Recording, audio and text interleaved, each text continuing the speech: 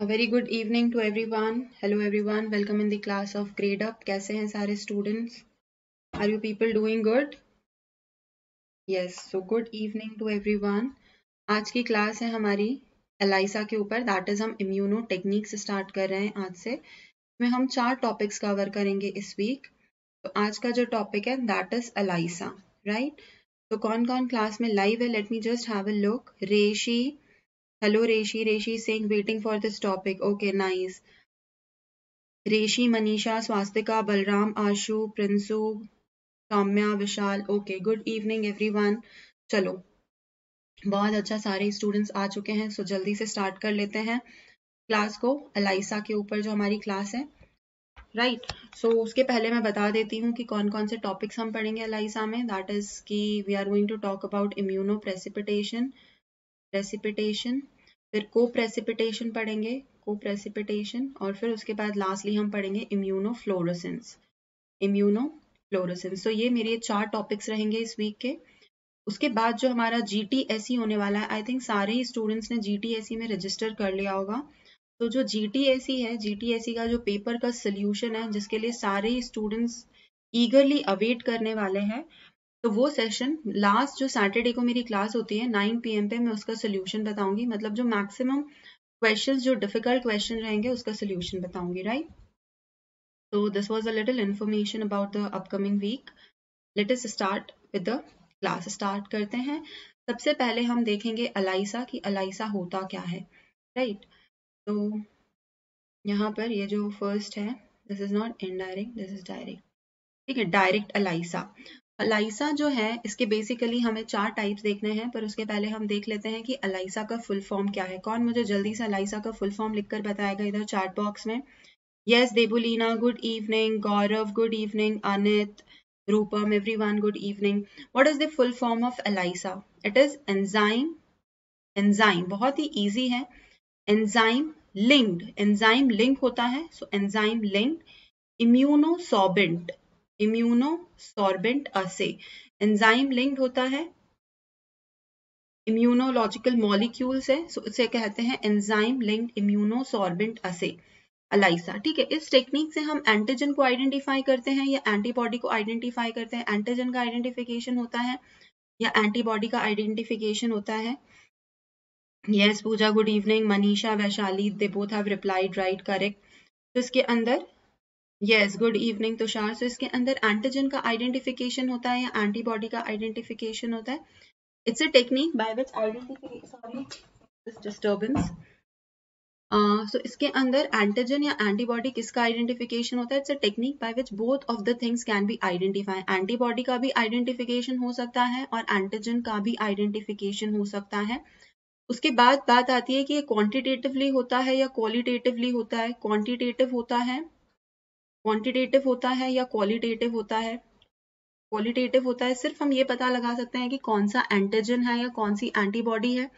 सिर्फ़ यही पता लगा सकते हैं या हम ये भी पता लगा सकते हैं कि कितना अमाउंट ऑफ़ एंटीजन था या कितना अमाउंट ऑफ़ एंटीबॉडी था।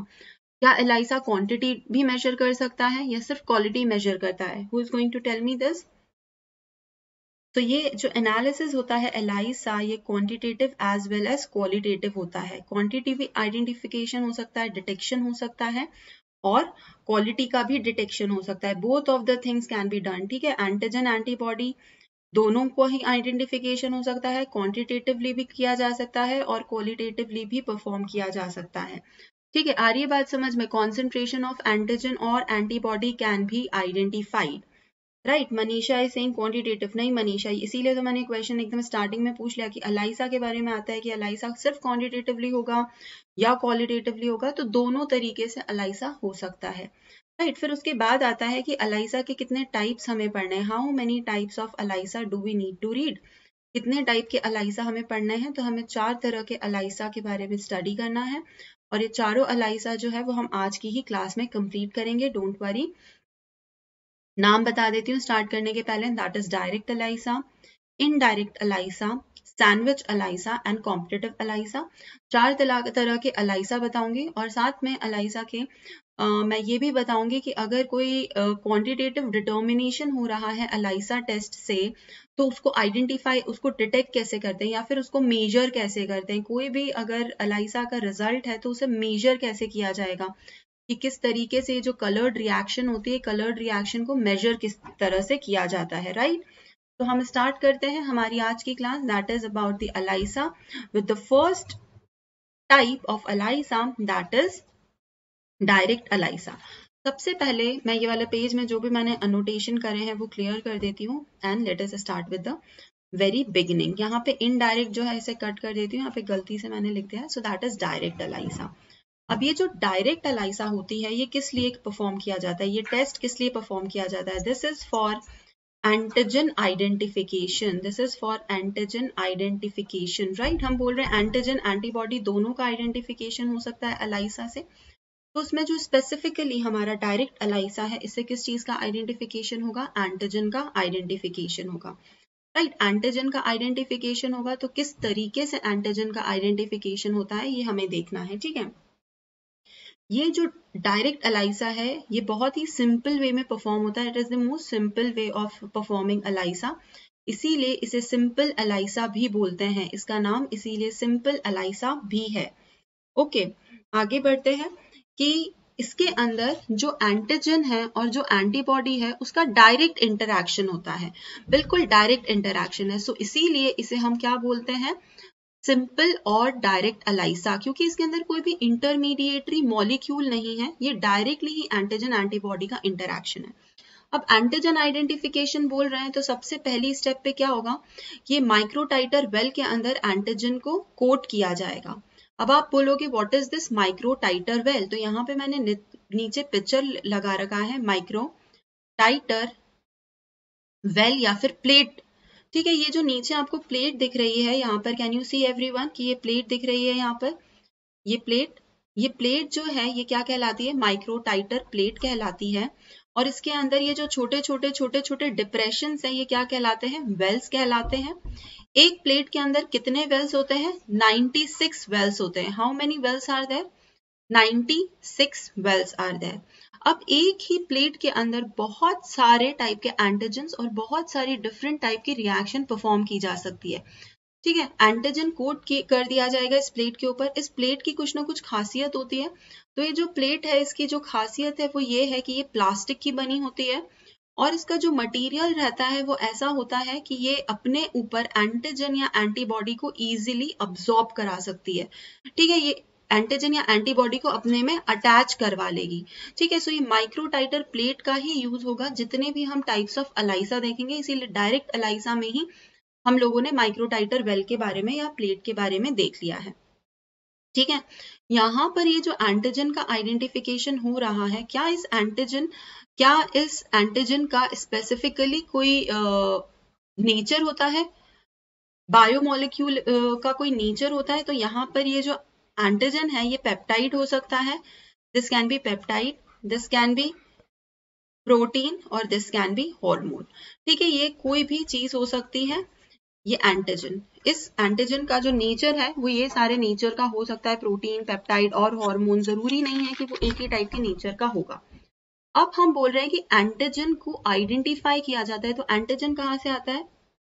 यस yes, आशु 96 वेल होते हैं, उसके अंदर पॉजिटिव कंट्रोल, नेगेटिव कंट्रोल का भी ऑप्शन होता है, अभी मैं वो पूरा आगे चल के समझाऊँगी। अब यहाँ पर ये जो एंटीजन आ रहा है from where this antigen is coming from मेरा ये क्वेश्चन है कि एंटीजन आता कहाँ से है? तो ये जो एंटीजन है, कहाँ से ऑप्टेन किया जाता है? ब्लड ऑफ़ द पेशेंट जो भी पेशेंट के अंदर कोई डिज़ीज़ सस्पेक्ट हुई, समझो कि एक पेशेंट है, उस पेशेंट को डॉक्टर ने बोला कि आपको एक्स टाइप का इन्फेक्शन है, आपके बॉडी के अंदर एक्स टाइप का पैथोजन मल्टीप्लाई कर रहा है तो जब उसका ब्लड लिया जाएगा तो उसके ब्लड के अंदर ये पैथोजन डेफिनेटली मल्टीप्लाई कर रहा होगा। तो जो पैथोजन मल्टीप्लाई कर रहा होगा तो हम उसे क्या बोलेंगे? एंटीजन बोलेंगे। तो ये एंटीजन कहाँ से आ रहा है? ब्लड के ब्लड में से आ रहा है पेशेंट के ब्लड में से आ रहा है। ब्लड लिया जाएगा पेशेंट से blood will be taken blood will be obtain from the patient body इस ब्लड को तो यूज़ नहीं किया जाएगा ब्लड से सीरम का फॉर्मेशन करवाया जाएगा, और ये जो सीरम है ये सीरम कंटेन करेगी एंटीजन तो आ रही है बात समझ में कि डायरेक्ट एलाइसा में हमारा जो एंटीजन है, वो कहाँ से आ रहा है? From where this antigen is coming from from the blood of the patient जिसको भी डॉक्टर ने बोला है कि आप एलाइसा करवा लो इस पर्टिकुलर डिज़ीज़ के लिए या फिर आप इस पर्टिकुलर इन्फेक्शन के लिए तो वो जाकर जब लैब वाले को बोलेगा तो उसका ब्लड लिया जाएगा। ब्लड में से सिरम बनाया जाएगा। सिरम कंटेन करेगा बहुत सारे जो भी टाइप के एंटीजन है उसके अंदर। वो एंटीजन को कंटेन करेगा और फिर उसके बाद जब हमें ये सिरम ऑप्टेन हो जाएगा तो हम सिरम में से एंटीजन तो सेपरेट आउट करेंगे नहीं। हम क्या करेंगे? ये जो माइक्रोटाइटर प्लेट है, इस प्लेट के अंदर, हर एक वेल के अंदर हम ये सिरम को ऐड करेंगे और फिर उसके बाद हम टेस्ट परफॉर्म करेंगे।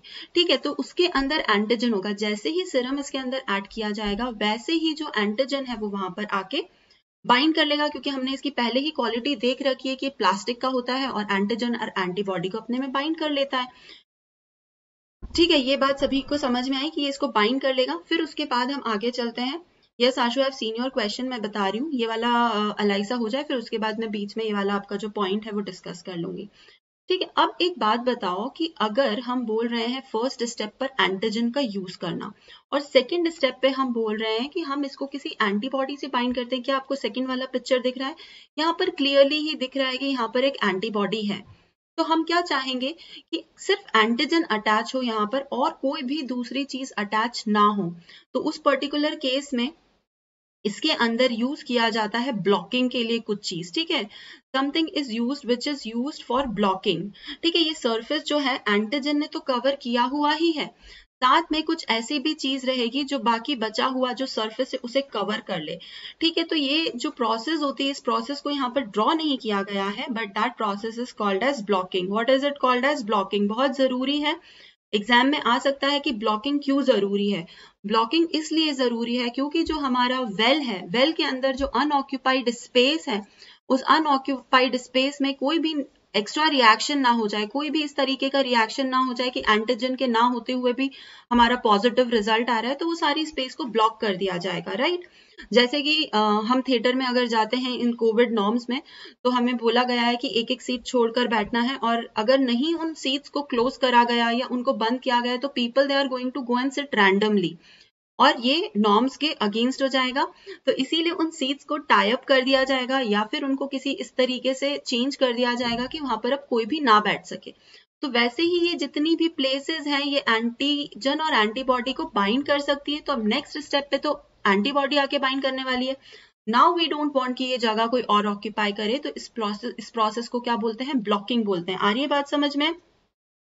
This process is called as blocking क्या कोई मुझे बताएगा कि ब्लॉकिंग के लिए क्या यूज़ किया जाता है? What is use for this blocking purpose blocking के लिए क्या यूज़ किया जाता है? बी एस ए प्रोटीन क्या यूज़ किया जाता है? बी एस ए प्रोटीन याद रखना what is the full form of B S A it is bovine serum albumin bovine serum albumin से ब्लॉक कर दी जाती है स्पेस ताकि वहाँ पर अब कोई भी और चीज़, कोई भी एक्स्ट्रा अनवांटेड चीज़ आके बाइंड ना हो जाए। मतलब एक इमेजिन करो सिचुएशन ये जो सेकंड वाला पिक्चर है, यहाँ पर एंटीबॉडी को सिर्फ़ और सिर्फ़ एंटीजन से बाइंड किया गया है। और मैंने जब माइक्रोटाइटर प्लेट का इंपॉर्टेंस या खासियत बताई थी तो मैंने बताई थी कि ये, मैंने बताया था कि इसका जो सर्फेस होता है, ये सर्फेस के ऊपर एंटीबॉडी आकर बाइंड कर सकती है। तो सोचो कि यहाँ पर अगर आकर बाइंड कर जाएगी एंटीबॉडी तो वो तो एक्स्ट्रा रिएक्शन दे जाएगी। जो नहीं होना है वहाँ पर अनवांटेड रिज़ल्ट आ जाएगा। तो उस रिज़ल्ट को अवॉइड करने के लिए क्या किया जाता है? उस स्पेस को ब्लॉक किया जाता है। किस चीज़ से ब्लॉक किया जाता है? बोवाइन सिरम एंड एल्बुमिन से ब्लॉक किया जाता है। और ये खुद कैसा होता है? अपने आप में नेचर इसका कैसा होता है? नॉन रिएक्टिव अगर ये रिएक्टिव होगा तो सोचो कितना ज़्यादा प्रॉब्लम कॉज करेगा। ये खुद रिएक्टिव हो गया तो ये रिएक्शन कॉज कर देगा। तो जो भी मटेरियल ब्लॉक करने के लिए यूज़ किया जाता है वो नॉन रिएक्टिव होता है। ठीक है? बहुत सारी दूसरी जगह में ये भी यूज़ किया जाता है। Fat free dry milk is also use in many of the cases yes, antigen will not flow, blocking, yes yeah, right. Yes, okay. आगे बढ़ते हैं कि ये ब्लॉकिंग हो गई और इस स्पेस को पूरी तरह ब्लॉक कर दिया गया ब्लॉकिंग बहुत ज़रूरी था so that is why I have told you it थोड़ा समझाया है। फिर उसके बाद अब यहाँ पर देखो कि ये एंटीजन जो है, ये एंटीजन को हमें आइडेंटिफाई करना है। तो एंटीजन जो भी एंटीजन समझो कि एक्स पैथोजन हम कोई एक डिज़ीज़ का नाम ले लेते हैं। लेट अस सी कि अगर ये परफॉर्म करवाया जा रहा है फॉर टाइफॉइड ठीक है? वैसे इसके लिए होता नहीं है, पर जस्ट फॉर एग्ज़ाम्पल कि अगर यहाँ पर उसका एंटीजन आकर बाइंड हो रहा है तो हमें कौन सी एंटीबॉडी ऐड करवाना पड़ेगी यहाँ पर? जो कि टाइफॉइड के लिए स्पेसिफिक हो। तो जो एंटीबॉडी है, ये एंटीबॉडी तो हम कस्टमाइज ले रहे हैं। हम बाहर किसी फार्मास्यूटिकल कंपनी से जो भी बनाती होंगी एंटीबॉडीज उनसे ऑप्टेन करते हैं एंटीबॉडी और उस एंटीबॉडी को इसके ऊपर ऐड की जाती है। कौन सी एंटीबॉडी यूज़ करना है, वो हमें कौन बताएगा? डॉक्टर बताएगा कि आप इस पर्टिकुलर डिज़ीज़ के लिए एलाइसा टेस्ट करवा लो। तो जब भी हम जाकर बोलेंगे लैब वाले को तो वो क्या करेगा कि हमारा ब्लड लेगा उससे सिरम बनवाएँगे और फिर वो जो भी डिज़ीज़ के लिए करने के लिए बोला गया है, उससे स्पेसिफिक एंटीबॉडीज को इसके ऊपर ऐड करेंगे। अब ये जो एंटीबॉडी ऐड करते हैं तो हम हमारे टॉपिक का नाम ही स्टार्टिंग से पढ़ने that is ELISA that is enzyme link तो अब एंजाइम जो मेन नाम में फ़र्स्ट वर्ड है, उसका यूज़ आता है। दैट इज़ कि यहाँ पर जो हमारी एंटीबॉडी है, ये कैसी होती है? इट इज़ एंजाइम लिंक दिख रहा है सभी को यहाँ पर कि ये क्या होती है? It is enzyme link our antibody is enzyme link very much important कि यहाँ पर एंटीजन का आइडेंटिफिकेशन हो रहा है तो यहाँ पर जो एंटीबॉडी यूज़ की जाएगी, वो बाहर से आएगी और वही एंजाइम लिंक्ड हो सकती है। समझो हमारी बॉडी का कोई एंटीजन है तो वो तो एंजाइम लिंक हम कर नहीं सकते। इज़ इट पॉसिबल कि हमारी बॉडी में से निकाल के उसको एंजाइम लिंक करा जाए? तो वो तो फिर उसी के लिए रिएक्शन हो गई ना। तो एंटीबॉडी नोन रहेगी, एंजाइम लिंक रहेगी, और एंजाइम लिंक रहेगी तो फर्दर क्या होगा, और यहाँ पर बीच में बहुत सारी स्टेप्स होती है, वो भी मैं समझा देती हूँ। क्या होता है कि हर एक पर्टिकुलर स्टेप जो होती है, उसके बाद वॉशिंग करवाई जाती है। जैसे ही एंटीजन ने बाइंड करा, वैसे ही इसकी वॉशिंग करवा दी जाएगी क्योंकि कोई भी चीज़ यहाँ पर अनवांटेड एनवायरमेंट में ना रहे। हर एक स्टेप के बाद क्या होगा वॉशिंग करवाई जाएगी, ताकि अनवांटेड एंटीजन हट जाए। उसके बाद ब्लॉकिंग करवा दी जाएगी, फिर वॉशिंग करवा दी कि अनवांटेड मटेरियल एनवायरमेंट में ना रहे। फिर जो एंटीबॉडी है अलोंग विद द एंजाइम उसे ऐड करवाया जाता है।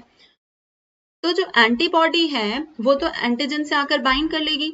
अब जो अनवांटेड एंटीबॉडी ऐसा तो नहीं है कि हमें पता है कि कितना एंटीजन बाउंड है वहाँ पर तो हम उसके हिसाब से एंटीबॉडी ऐड करेंगे। No right we don't know कि what is the amount of antibody तो हम क्या करेंगे कि यहाँ पर इस पर्टिकुलर स्टेप के बाद क्या करवा देंगे? अगेन वॉशिंग करवाएँगे ताकि अनवांटेड एंटीबॉडी उस पर्टिकुलर एनवायरमेंट से हट जाए। क्योंकि अनवांटेड एंटीबॉडी रहेगी एंजाइम भी रहेगा तो वो तो फिर रिएक्शन दे देगा और हम नहीं चाहते हैं कि ये कलर्ड रिएक्शन दे। Right right? क्योंकि हम इसके अंदर जो भी रिएक्शन देखेंगे that will be coloured reaction अब लास्टली एंजाइम है तो एंजाइम का कैसे यूज़ लेंगे कि हम उसके उस प्लेट के अंदर ऐड करेंगे सबस्ट्रेट। सबस्ट्रेट का एडिशन किया जाएगा। सबस्ट्रेट वो मटेरियल होगा जिसके ऊपर एंजाइम एक्ट करेगा और कलर्ड प्रोडक्ट देगा।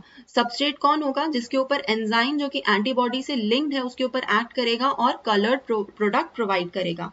ठीक है सो मोस्ट फ़ेमस जो हम यहाँ पर बात करते हैं, जो एंजाइम की, उस एंजाइम का नाम कोई मुझे बताएगा कि what is the name of that famous enzyme which is use in this एक थोड़ा सा मुझे uh, एक सेकेंड का टाइम दो मैं इसके अंदर कुछ ऐड करना चाहती हूँ। Just give me one second तो जब तक आप लोग मुझे ये बताओ कि इसके अंदर जो यूज़ करा जाता है दैट इज़ द एंजाइम वो कौन होता है?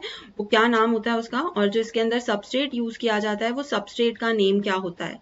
Just tell me the name of enzyme and the name of the substrate right okay done कुछ पेजेस ऐड करना चाह रही थी तो वो मैंने कर दिए ठीक है, अभी सभी लोगों को समझ में आया कि डायरेक्ट एलाइजा कैसे परफॉर्म करते हैं। Please can I get my fan open really hot यहाँ पर। गर्मी लगने लग जाती है थोड़ी देर में। ठीक है सो अब हम देखते हैं कि यहाँ पर जो हम एंजाइम यूज़ कर रहे हैं, वो एंजाइम कौन कौन से होते हैं? दो बहुत फ़ेमस एंजाइम यूज़ किए जाते हैं, जिनके बारे में हमें पता होना चाहिए। कोई मुझे बताएगा उसका नाम? That is R P what is this horseradish peroxidase. The name of the enzyme is horseradish peroxidase. और इसके ऊपर जो सबस्ट्रेट ऐड किया जाता है दैट इज़ टी उसका मैं फुल फॉर्म वर्बली बोल देती हूँ that is tetra methyl benzidine और उसके बाद एक और जो इसका सबस्ट्रेट होता है that is A B T S इसका फुल फॉर्म होता है अजीनो डाइथायाजोलिन सल्फोनिक एसिड। ठीक है ये दो इसके सबस्टेट होते हैं हॉर्स रेडिश पिरोक्सीडेज के। और आज का जो क्वेश्चन है दैट इज़ कि one more enzyme which is used very famously जिसका शॉर्ट फॉर्म होता है ए एल पी एल ठीक है बहुत ही सिंपल है या फिर उसे सिंपली आप ए एल पी भी बोल सकते हो। सो so, इस एंजाइम का फुल फॉर्म क्या है और इसका सबस्ट्रेट क्या है? That is the question of the day ठीक है, अभी जितने भी हम टाइप के अलाइसा पढ़ेंगे आगे, ये तो हमारा फ़र्स्ट टाइप था। जितने भी टाइप के अलाइसा पढ़ेंगे, उसके अंदर एंजाइम जो रहेगा और जो सबस्ट्रेट रहेगा, वो सभी के अंदर यही सब टाइप के एंजाइम्स और सबस्ट्रेट रहने वाले हैं। जब horseradish peroxidase as an enzyme use किया जाता है और टीएमबी यूज़ किया जाता है एज अ सबस्ट्रेट तो ये किस कलर का रिएक्शन देता है? It gives blue coloured reaction और जब हॉर्स रेडिश पेरोक्सीडेज और A B T S as a substrate use किया जाता है तो कौन सी कलर की रिएक्शन देता है? It gives green coloured reaction क्या ये बात सभी को समझ में आ रही है? Yes Manisha TMB is the substrate क्योंकि एंजाइम है तो उसको सबस्ट्रेट भी होना चाहिए। अब यहाँ पर किसी को भी कोई तरीके का डाउट तो नहीं है कि मैम सबस्ट्रेट को क्यों ऐड किया गया? देखो, अगर अब यहाँ पर हम पॉजिटिव और नेगेटिव रिज़ल्ट को भी डिस्कस कर लेते हैं कि समझो कि डॉक्टर ने मुझे बोला कि मुझे एक्स पर्टिकुलर डिज़ीज़ है और उस डिज़ीज़ का एंटीजन मेरे में प्रेजेंट है तो वो यहाँ पर आकर बाइंड करेगा और अगर वो नहीं यहाँ पर बाइंड करेगा तो जो दूसरे एंटीजन होते हैं, वो आके बाइंड करेंगे, क्योंकि एक पर्टिकुलर टाइम पे कोई भी ह्यूमन ब्लड स्टेराइल तो होगा नहीं, उसके अंदर डेफिनेटली दूसरे एंटीजन होंगे।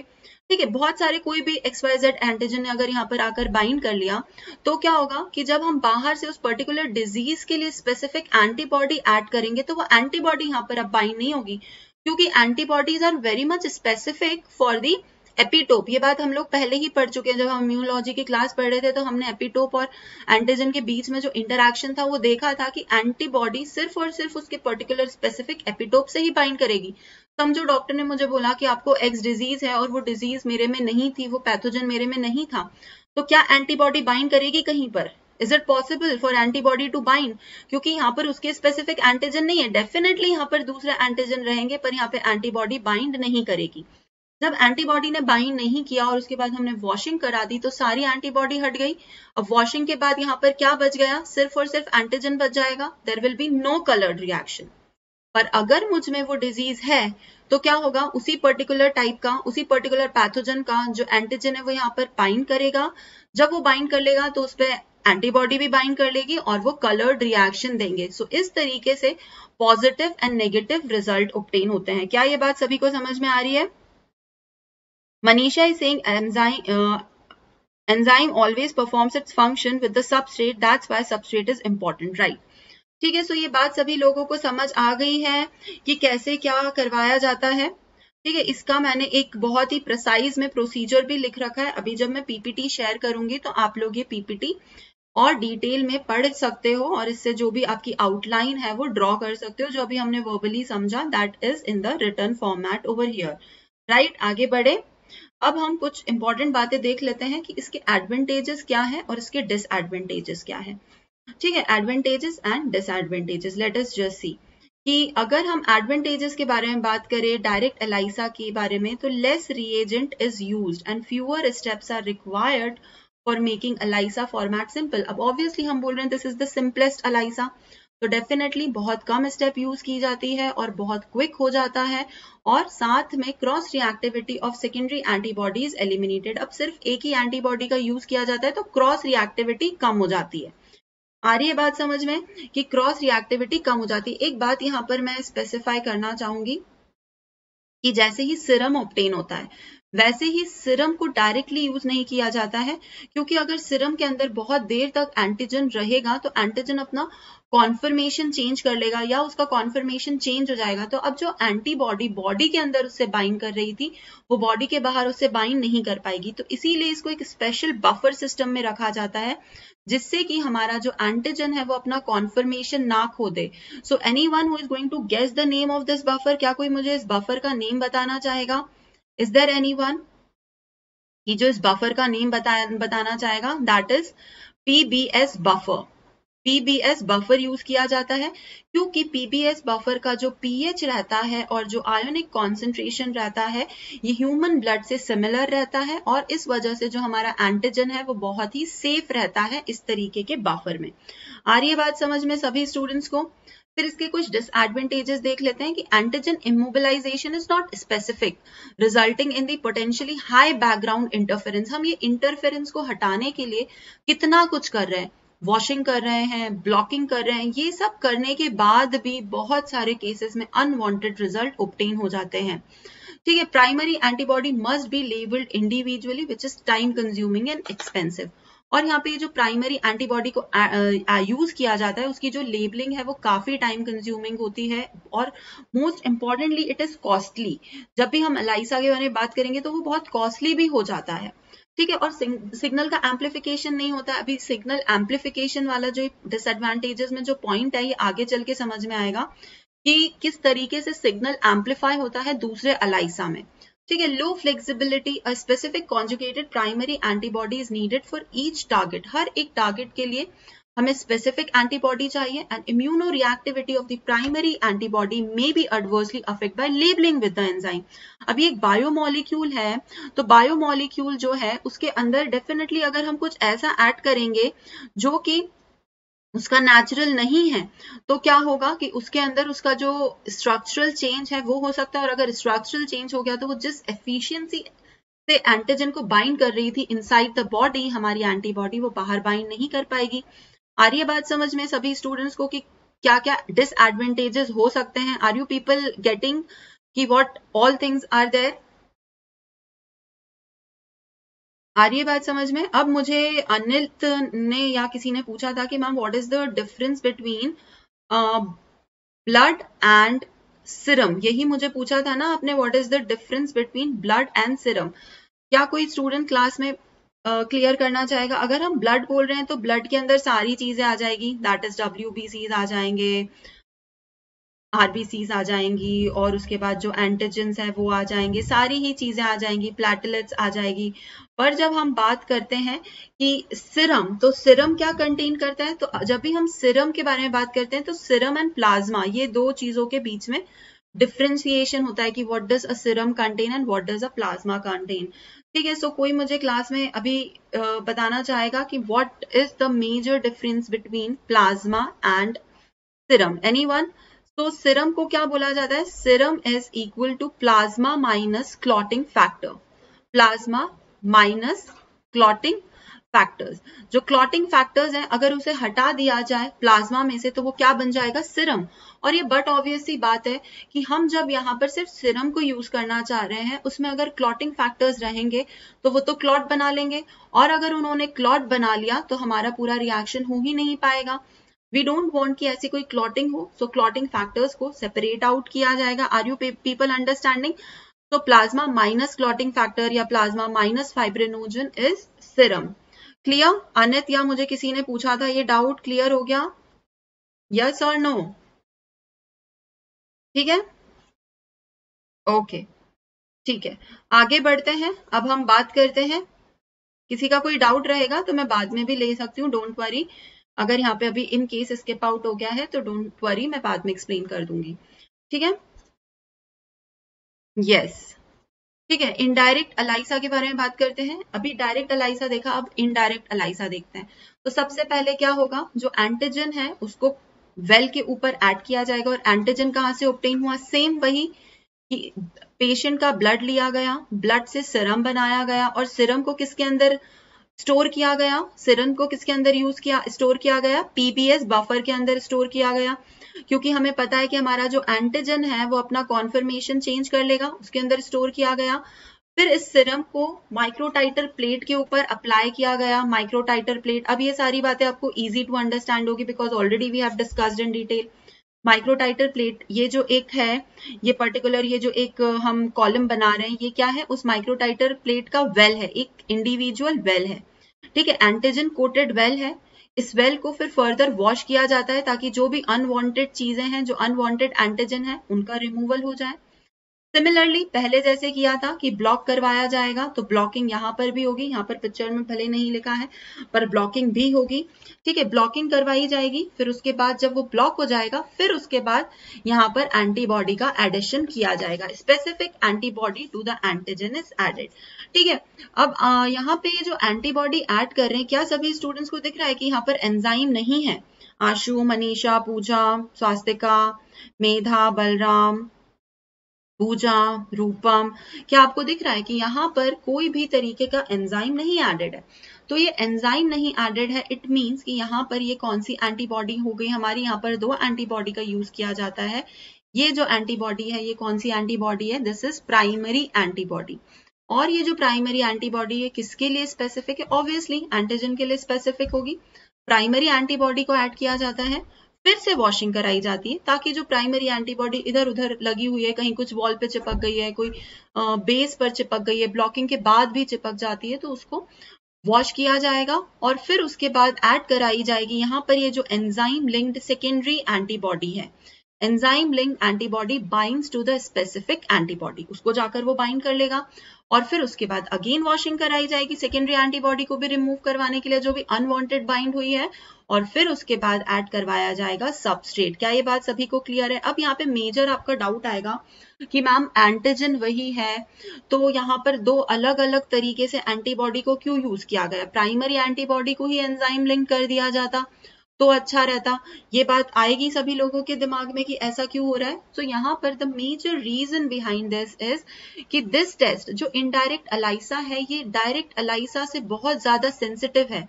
Two to five times more sensitive than the direct ELISA क्या होता है कि डायरेक्ट अलाइसा में फिर भी क्रॉस रिएक्टिविटी हो सकती है कि जो प्राइमरी एंटीबॉडी है, वो कहीं आकर कोई ऐसे एंटीजन से बाइंड कर जाए जो कि उस पर्टिकुलर पैथोजन का ना हो। पर यहाँ पर जो एंटीबॉडी उसने एक बार स्पेसिफिसिटी से यहाँ पर बाइंड करा और ये दूसरी स्पेसिफिसिटी से बाइंड हो गया। क्या ये बात सभी लोगों को समझ में आ रही है? कि पहली स्पेसिफिसिटी और दूसरी स्पेसिफिसिटी समझो आज मैं एक आर्टिकल लिखती हूँ। अगर वो आर्टिकल मैं एक पर्सन को देती हूँ करेक्ट करने के लिए या रीड करने के लिए कि आप इसकी प्रूफ रीडिंग करो तो वो पर्सन एक बार मेरे आर्टिकल को प्रूफ रीड करेगा। अगर मैं बोलती हूँ उस आर्टिकल को जिसने भी मुझे प्रूफ रीड करके दिया। उसके बाद मैं एक और पर्सन को देती हूँ। तो सोचो कितना रिफाइनमेंट होगा उस आर्टिकल के अंदर। तो वैसे ही यहाँ पर एक बार एंटीबॉडी स्पेसिफिकली एंटीजन से बाइंड करिए। दूसरी बार एक और एंटीबॉडी जो कि उस एंटीबॉडी के लिए स्पेसिफिक है, वो आके बाइंड करिए। So the sensitivity increases sensitivity बहुत ज़्यादा इंक्रीज हो जाती है। क्या ये बात सभी लोगों को समझ में आई? कि किस तरीके से सेंसिटिविटी इंक्रीज होती है इनडायरेक्ट अलाइसा में? क्योंकि यूजुअली बोला जाता है पूछा जाता है which one is more sensitive direct ELISA और इनडायरेक्ट अलाइसा तो indirect ELISA is more sensitive any one having any kind of doubt कि यहाँ पर समझ में आएगा uh, समझ में नहीं आया हो कि क्यों इस तरीके से हो रहा है और सबस्टेट को ऐड कराया जाएगा हॉर्स रेडिश पेरोक्सीडेज के ऊपर वो अपना एंजाइमेटिक रिएक्शन देगा और कलर्ड रिएक्शन ऑप्टेन होगी। क्लियर एवरीवन कि किस तरीके से ये कलर्ड रिएक्शन ऑप्टेन हो रही है। ठीक है, बाकी सारी चीज़ें यहाँ पर वही रहेगी कि हम जो बात करते हैं कि कौन सा ब्लॉकिंग एजेंट यूज़ किया जाता है। Any one is going to tell me the name of the blocking agent blocking agent का कोई मुझे नाम बताएगा कि क्या ब्लॉकिंग एजेंट यूज़ कर रहे थे हम?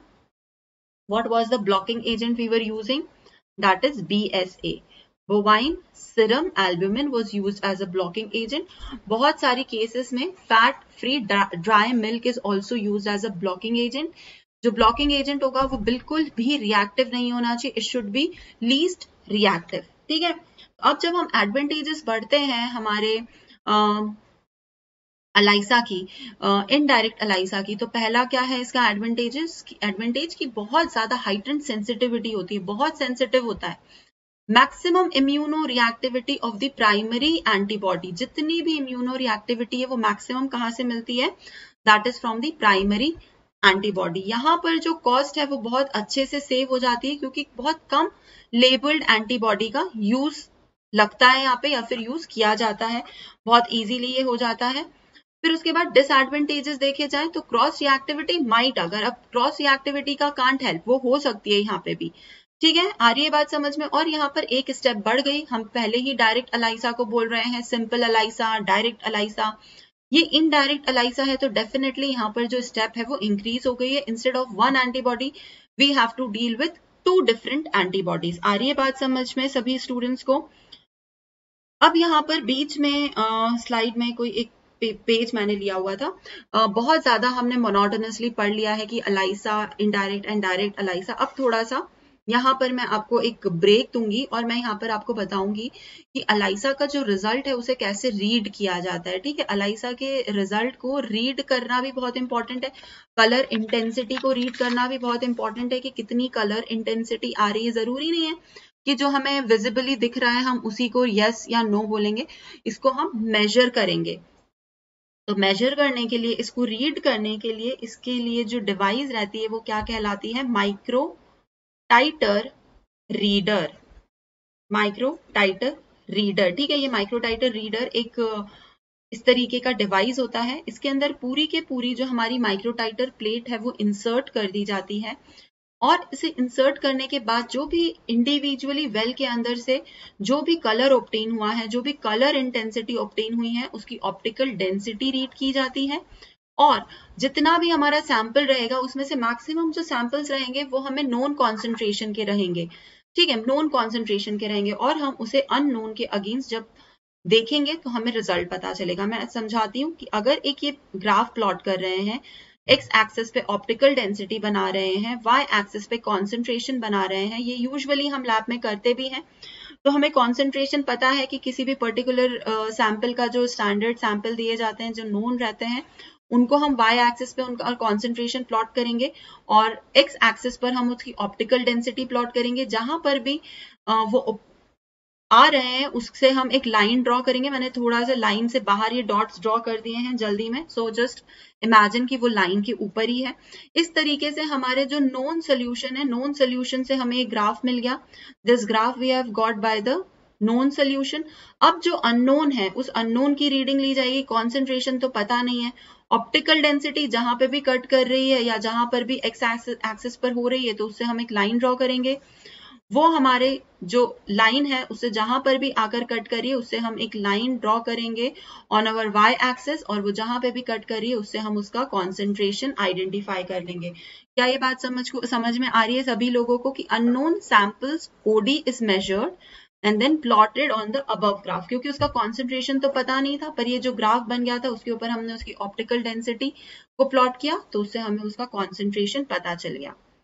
ठीक है we have to compare it with the reference right तो यहाँ तक जो हमारा डायरेक्ट अलाइसा और इनडायरेक्ट अलाइसा था, वो खत्म होता है।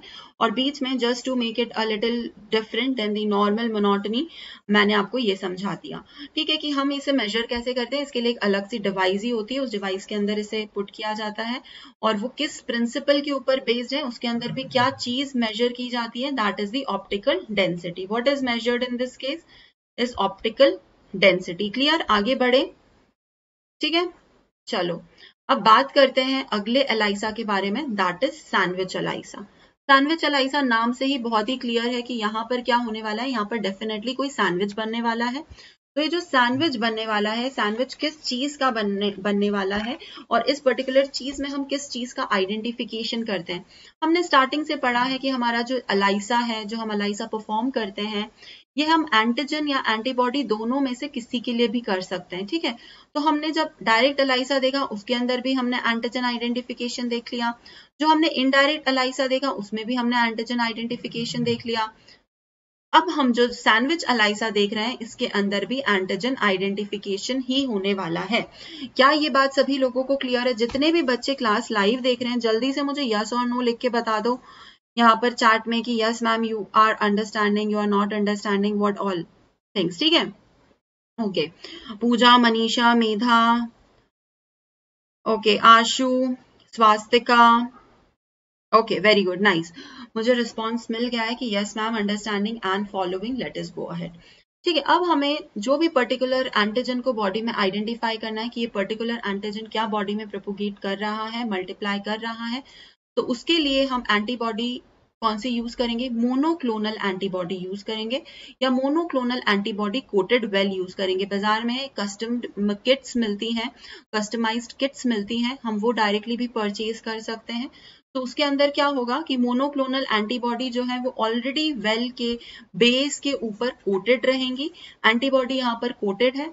उसके बाद अगर नहीं हम किट परचेज करते हैं और हमने सारी चीज़ें अलग अलग असेंबल करी है तो हम मोनोक्लोनल एंटीबॉडी परचेज भी कर सकते हैं। उस पर्टिकुलर केस में हम क्या करेंगे? इसकी वॉशिंग करवाएँगे। क्योंकि जब हम किट ऑप्टेन करते हैं तो जो मोनोक्लोनल एंटीबॉडी वो ऑलरेडी उसके ऊपर स्टक फॉर्म में आती है और जो बाकी का जो सरफेस है, वो कैसा रहता है? ब्लॉक्ड रहता है ऑलरेडी पर यहाँ पर हम कस्टम मेड कर रहे हैं, हम खुद लैब में कर रहे हैं तो यहाँ पर क्या होगा? वॉशिंग करवाई जाएगी। और फिर उसके बाद ब्लॉकिंग भी करवाई जाएगी। जब ब्लॉक हो जाएगा, उसका बेस पूरा अच्छे से, फिर उसके बाद क्या होगा कि उसके अंदर एडिशन ऑफ़ एंटीजन किया जाएगा। Addition of antigen will be done ठीक है एंटीजन एडिशन मतलब अगेन किस फॉर्म में एडिशन होगा? सिरम के फॉर्म में एडिशन किया जाएगा। सिरम विल बी एडेड और फिर उसके बाद वॉशिंग कर दी जाएगी ताकि जितना भी अनवांटेड एंटीजन है वो हट जाए।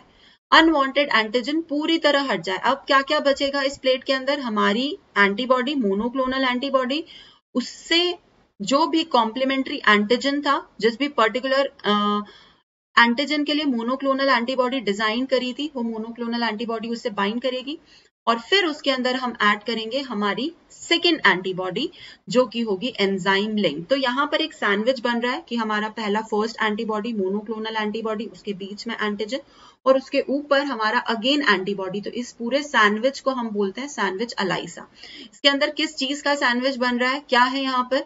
किस कौन सी फिलिंग है? दो ब्रेड्स के बीच में कौन सी फिलिंग है? आलू टिक्की है या कुछ चिकन टिक्की है या क्या है?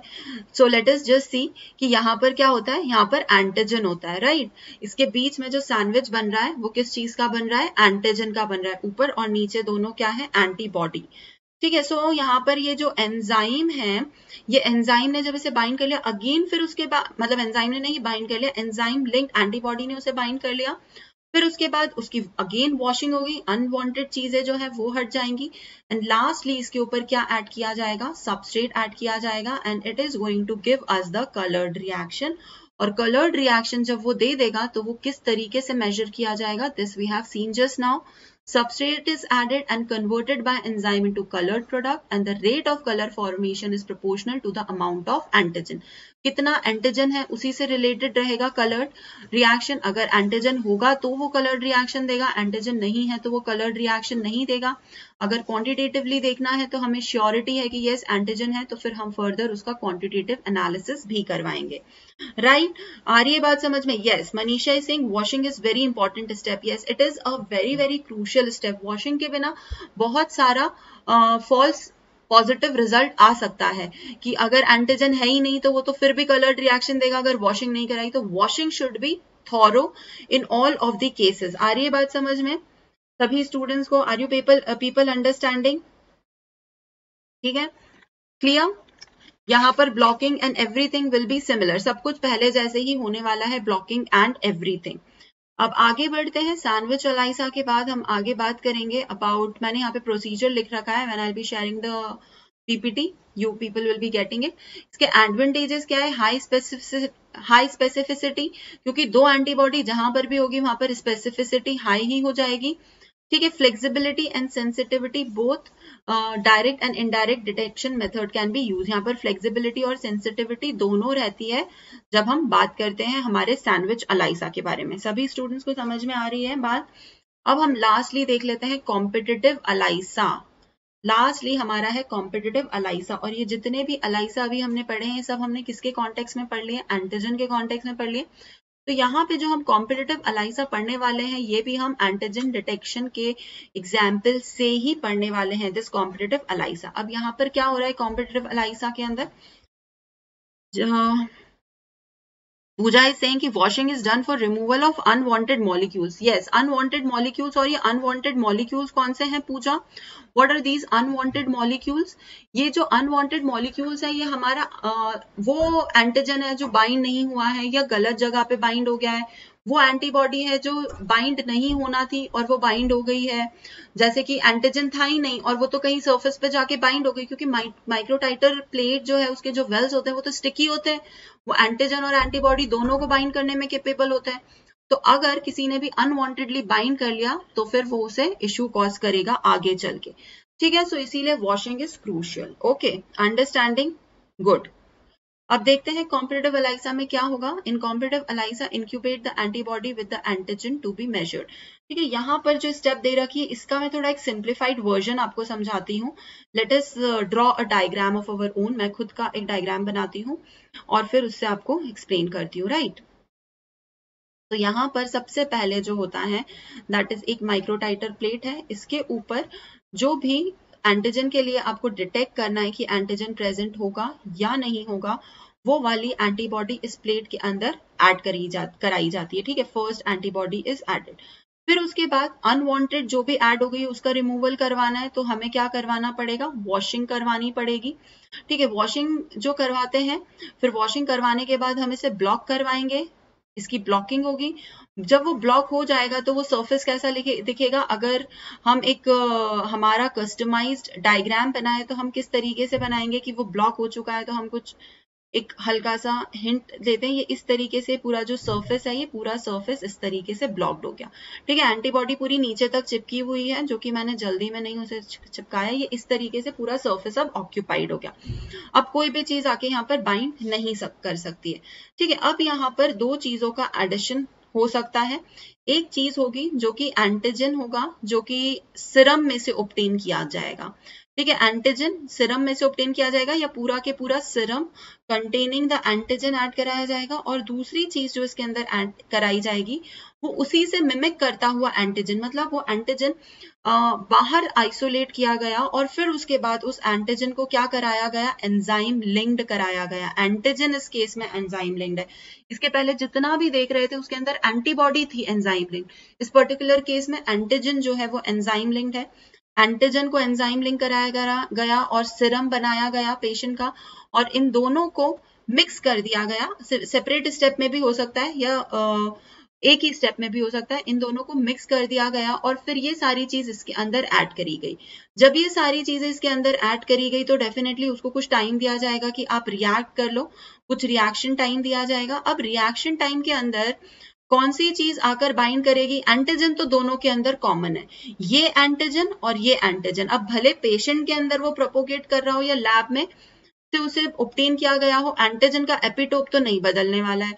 एपिटोप तो वही रहेगा। तो ये जो एंटीजन है, ये दोनों 100 परसेंट सेम है।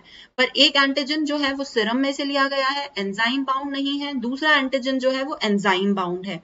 ठीक है, अब जब ये इसके अंदर ऐड किया जाएगा तो जिस भी चीज़ का कॉन्सेंट्रेशन ज़्यादा है, वो पर्टिकुलर चीज़ यहाँ पर आके बाइंड करेगी। समझो कि एंजाइम लिंक्ड एंटीजन ज़्यादा था बॉडी के अंदर जो एंटीजन था, वो अभी इतना ज़्यादा मल्टीप्लाई नहीं हो पाया है, या फिर बहुत ज़्यादा वो सिरम में ऑप्टेन नहीं कर पाया है तो ऑब्वियसली वो कम जगह जाकर बाइंड करेगा। तो जब वो कम जगह जाके बाइंड करेगा तो क्या होगा कि हमें दिख तो नहीं रहा है। अब इसके बाद हम नेक्स्ट स्टेप क्या परफॉर्म करेंगे कि इसके अंदर हम करवाएँगे एडिशन ऑफ़ सबस्ट्रेट राइट जैसे ही सबस्ट्रेट का एडिशन होगा, वैसे ही ये क्या देगा? Coloured reaction it is going to give coloured reaction और जब ये कलर्ड रिएक्शन देगा तो उसे हम डिटेक्ट कर लेंगे कि कितना अमाउंट ऑफ़ कलर ऑप्टेन हो रहा है। उसे स्टैंडर्ड के अगेंस्ट रीड करेंगे तो हमें पता चल जाएगा कि बॉडी के अंदर जो इन्फेक्शन है, उसका लेवल कितना है, या कितना ज़्यादा है, कितना कम है डिपेंडिंग ऑन द थिंग अब इसे कॉम्पिटेटिव अलाइसा क्यों बोला गया? इसे कॉम्पिटेटिव अलाइसा इसलिए बोला गया क्योंकि जब हम ये ऐड करते हैं एंटीजन सिरम वाला और जो एंटीजन एंजाइम लिंक्ड है तो इन दोनों के बीच में कंपटीशन होती है कि who is going to go and bind with the antibody क्योंकि दोनों की बाइंडिंग साइड सेम होती है तो जिसका भी कॉन्सेंट्रेशन ज़्यादा होगा, वो बाइंड करेगा। ठीक है? जैसे कि क्लास में दो ग्रुप्स हैं, उसमें से एक ग्रुप के जो स्टूडेंट्स हैं या जो बच्चे हैं they are more power powerful they are more muscular और जो दूसरे बच्चे हैं दे आर लीनर तो कौन पर्टिकुलर केस में बहुत ज़्यादा वहाँ पर इम्पैक्टफुल एक अपना डोमिनेंस रखेगा अगर कोई भी स्पोर्ट्स एक्टिविटी है? ऑब्वियसली वो ग्रुप जिसके पास बहुत ज़्यादा मस्कुलर पावर है या फिर जिसका नंबर बहुत ज़्यादा है। समझो कि एक ग्रुप में है दस बच्चे और दूसरे ग्रुप में है छह बच्चे। तो who is going to have more chances of winning obviously उस ग्रुप के बच्चे, जिसके अंदर टेन स्टूडेंट्स है टेन बच्चे हैं, वो ग्रुप विन करेगा। वैसे ही यहाँ पर एंटीबॉडी कौन विन करेगा? Antibody is kind of a trophy तो ट्रॉफी कौन विन करने के, जिसके ज़्यादा चांसेस रहेंगे, वो रहेंगे antigen linked with the enzyme आ रही है बात समझ में सभी स्टूडेंट्स को यहाँ पर?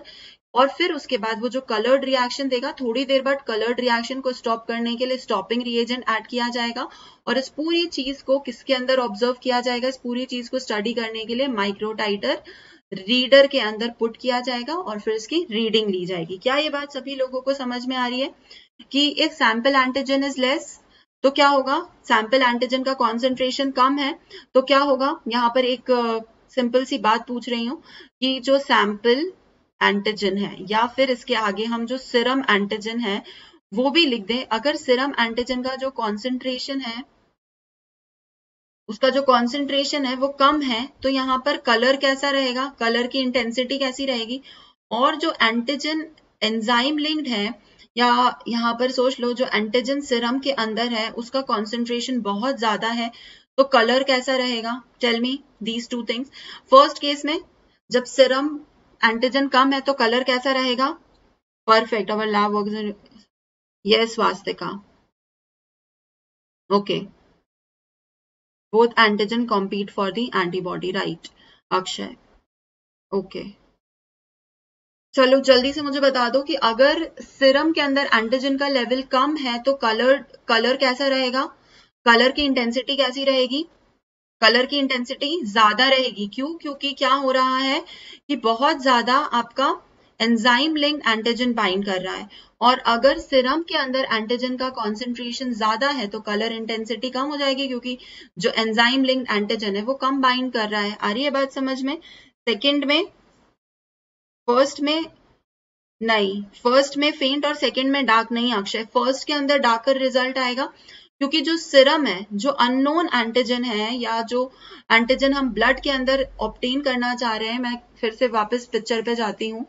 ये वाले पिक्चर पे जाते हैं, जो इसका ओरिजिनल पिक्चर है कॉम्पिटेटिव अलाइसा के अंदर। तो यहाँ पर क्या हो रहा है, ये कॉम्पिटेटिव अलाइसा में इन लोगों ने एंटीजन के कॉन्टेक्स में नहीं बताया है। यहाँ पर देखते हैं एंटीजन के कॉन्टेक्स में कि समझो कि जो एंटीजन है, वो एंजाइम लिंक्ड है। तो एंटीजन एंजाइम लिंक कौन सा है? जो बाहर से कस्टमाइज्ड है तो वो ज़्यादा बाइंड करेगा। अगर जो सिरम का एंटीजन है, वो कम है तो एंजाइम लिंक एंटीजन ज़्यादा बाइंड करेगा तो वो उस केस में ज़्यादा इंटेंसिटी देगा।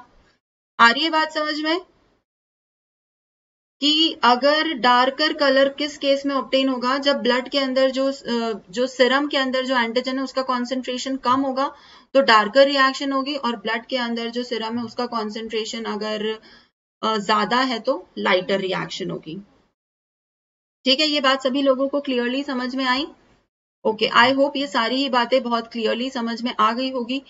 uh, नहीं तो you can rewatch the video कल की जो क्लास है that is about immunoprecipitation immunoprecipitation right और उसके बाद पढ़ाऊँगी को इम्यूनो प्रेसिपिटेशन और फिर उसके बाद पढ़ाऊँगी इम्यूनो फ्लोरोसेंस ठीक है सो अगर क्लास अच्छी लगी हो तो जल्दी से लाइक कर दो और अपने फ्रेंड्स के साथ शेयर कर दो। And I hope to see you all in tomorrow's class as well कल का स्केड्यूल बता देती हूँ कि कल हमारी एक क्लास होगी ट्वेल्व थर्टी पर, जिसके अंदर हम देखेंगे जी ई के इंपॉर्टेंट क्वेश्चंस या जीटीएसई के लिए सैंपल पेपर का डिस्कशन करेंगे।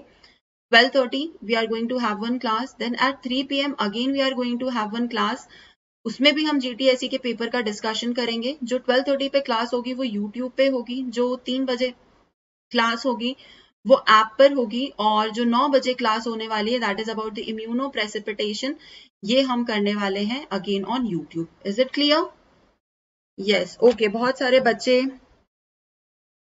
ओके सौम्या इज़ सेइंग कि यहाँ पे जो ये वॉशिंग हो रही है, वो कैसे हो रही है? ठीक है? ठीक क्वेश्चन है कि ये जो वॉशिंग होती है, ये कैसे होती है? तो वॉशिंग के लिए मैं बता देती हूँ, क्योंकि वॉशिंग बहुत क्रूशियल स्टेप है तो डेफिनेटली डाउट होगा ही कि हर केस में जब वॉशिंग की जा रही है तो कैसे की जाती है?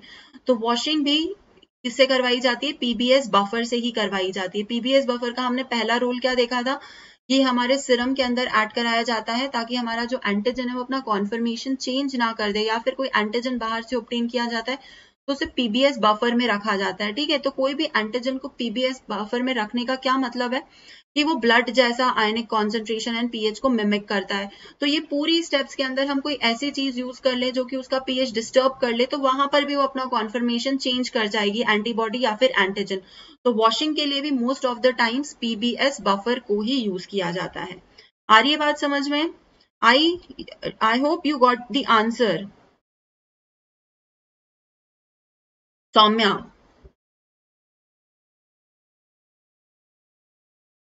yes yes, अब आज का क्वेश्चन जो है वो अगर आप लोगों को याद है तो well and good and I be waiting for your answers तो आज की क्लास जो है उसमें जो भी इम्पोर्टेंट था that we have read and if you want the PPT so I be sharing the PPT also soon तो this is it for now अब कल मिलेंगे 12:30 PM 3 PM and 9 PM right everyone understood सॉम आपके question का answer I hope मिल गया हो। Okay fine so this is it for now okay Saumya I saying yes ma'am okay so this is it for now let us meet tomorrow will we meet next time be happy and keep on starting